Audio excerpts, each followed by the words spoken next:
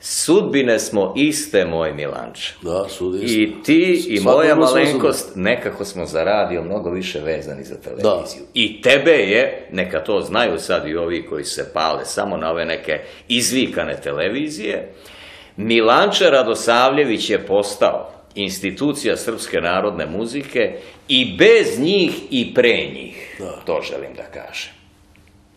Šta znam, radio, radio, ovaj, e, radio se sluša. I ljudi osjete tu dušu i to. Jer ja znam, moja, moja majka pokojna i otac, mi sedimo u kući i onda, mi smo volili Vidu Pavlović, ona je bila naša pevačica, ona je pevala, imala je dušu, tada je bila ona, posle su došle druge, dobre, mnogo dobre pevačice, Snežana i tako dalje i ovi druge, ali ona je starija bila i, i ovaj, slušao nju i, i najavljuju na radiju, zna- znate, ovaj, najavljuju nova ploča, to se pričalo, pa onda mm, hvale, hvale, hvale ploču i onda počeo da peva neko i moja mati sluša, sluša i tek samo ja kažem, mama, kako, šta, ne, ne sviđa ti se? Ma nema ništa, kaže. Znači, prosta žena, seljanka, ona, ona nešto hoće da osjeti u dušu. Zato ću kažem da je radio, na radiju su mogli da čuju vašu dušu. Da vas osjete ljudi, ili su imali strpljenje da slušaju. Sada, počinje pesma, svi skaču, igraju, niko nikog ne sluša.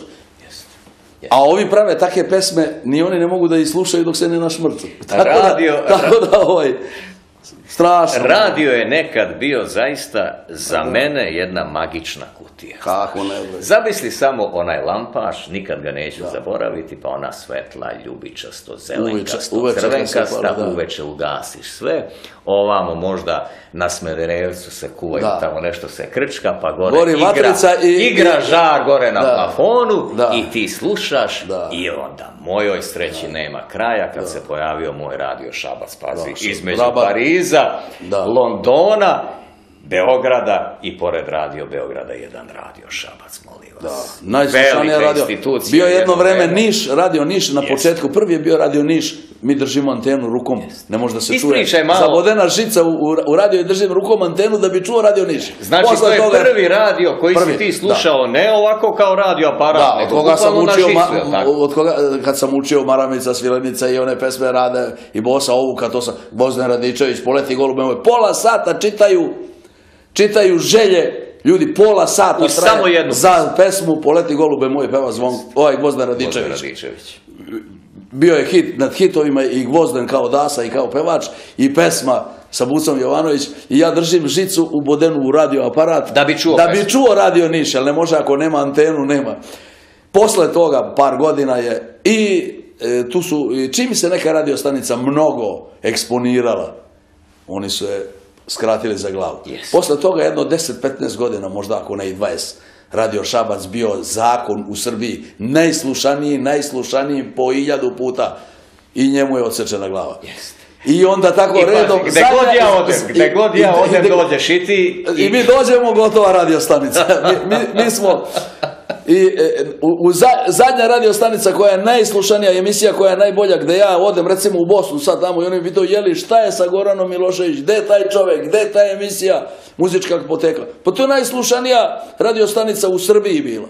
I, i to je su osjećana glava. Znači, neko ne voli da se srpske pesme, i evo sad smo sveli, nema ni na prvom programu, nema ni na ovima, neko ne voli, ali ne znam ko je to neko u nas 7 miliona, recimo 6, 7, 5, ko je taj neko u tako malo naroda, to je malo 7 miliona, danas ima 100 miliona pa da kažemo ima tu, nego tu tako nas malo ima, neko ne voli, ne da tu narodnu muziku, ne, ne radi se o meni, meni je sve prošlo, za mene nije bitno, ne mora nikad nigde, ni jedna pesma da mi se čuje. Čulo se što se čulo. Nego imamo mi mnogo lepih pesama. Vidite, country muziku imaju Amerikanci. I mi imamo svoju country muziku. Naša, naša narodna muzika je naš country.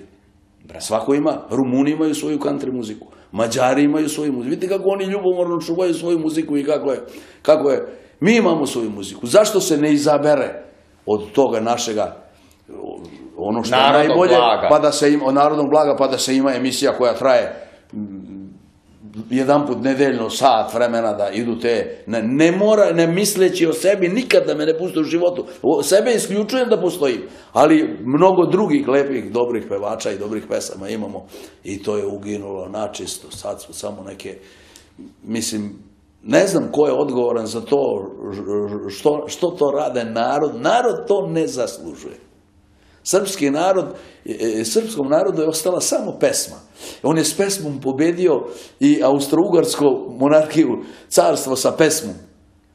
Znate da su na ceru krenuli bubnjevi doboši i s pesmom krenuli i starali, isterali vojsku kad je više struko boju, kad, kad je Geđa, tako jurio Počoreka. Tako je, tako je. I, I šta sad, stalno nam podmeću neke, ovaj, ja razumem, to su privatne, ovo je privatna televizija, možda pušta šta god hoće, druga je, treća televizija je privatna, oni mogu da puštaju šta god hoće. Ali treba da imaju duše i treba da budu svesni da postoje u zemlji Srbiji koja ima svoju muziku, nije Srbija, ne da nije siromašna, mi smo za sve ove zemlje oko nas, imamo najviše muzike. Za izvoz. Za izvoz. Da se ponosimo, da, to bude naš nacionalni brend. I to je sve nama uvrnuto ovako za, za gušu i bačeno i sad mi slušamo neke tamo, šta znam, ja, Ali ja, sam staromodan da vam kažem, ja, ja sve razumem, ja znam da je mene sve pregazilo, da sam ja sve prošao, ali nisam samo ja, nego ima mnogo naroda u razgovoru sa narodom. Oni stalno pitaju gdje je ovo, šta je sa ovim, gdje je ta emisija,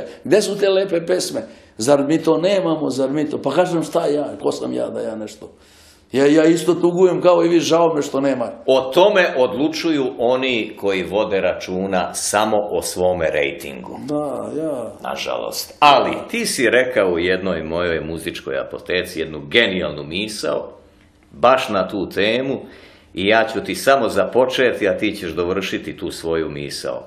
Očekivali smo od tog velikog sveta, ajde, pa prepuštam. Mi, mi, smo razgovarali ovako nas dvoje i kažem, mi smo bili u teškom stanju onog vreme Miloševića, ono bilo, kad nam je trebala pomoć kao hleba, da nam, da nam pomognu samo malo da preguramo tu krizu, kad se ono davljenik davi pa kaže pruži mu mali prst, a ja sam u momentu mi, oprostite mi na izrazu, došlo, oni su nam dali srednji prst. Eto, to je moja misao prosta, primitivna, koju sam ja rekao, koja se, na, nažalost, i danas ništa se nije promijenilo od onda do danas. Dakle, očekivali Kad smo očekivali da nam pruži ma, od velikog da, da, prst, da nam pruži kao spas. A oni su nam pružili Oni su nam pružili srednji prst. I hvala I, i hvala Eto, ja, ja ostajem i danas dani pri tome i to će se, ja ću umreti sutra prekostra, e, ovaj, u šali će se ovako pričati tako. Pričati tako. To sam ja, ovaj, to je meni naletelo u razgovoru sa tobom. Mada, Mnogo ti je toga naletelo u razgovoru. Da, se stidim što sam to morao da kažem. Treba da se ponosiš, jer ti si bio u mojoj emisiji 99. godine, sećam se, bombe su padale. Da. Moj otac u životnoj krizi, ti si kod mene bio na Bontonu, sećam se dobro. Sirene su svirale, Bonton je bio jedini radio tad koji je radio u Beogradu. Pa zato i kažem, mi smo izbjegli, mene, mene je teško razli, ja kad pričam, meni suze pođu. Stalno smo izbjegli, jedni begaju tamo, jedni begaju vamo, jedni begaju. Pa koji smo mi to narod? A kad vidim šta ko radi oko nas, mi smo bolji. I to mnogo. I to mnogo, mi smo bolji. Pa kako to da taj bolji stalno bude pod čizmom je? Šta je to sad?